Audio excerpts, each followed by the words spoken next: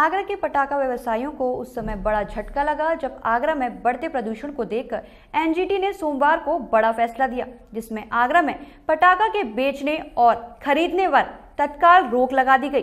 तो वहीं इस संबंध में आगरा के जिलाधिकारी प्रभु नारायण सिंह ने एक आदेश जारी किया, जिसके कारण आगरा शहर में अब किसी भी प्रकार की पटाखे की दुकान नहीं लग सकेगी। नेशनल ग्रीन ट्रिब्यूनल यानी एनजीटी ने सोमवार दोपहर एक आदेश जारी किया। जिसमें आगरा शहर में किसी भी प्रकार के पटाखे बेचने और चलाने पर रोक लगा दी। जिसका पालन करते हुए आगरा डीएम प्रभु एन सिंह ने तत्काल आदेश जारी कर सभी दुकानों के लगने पर रोक लगा दी।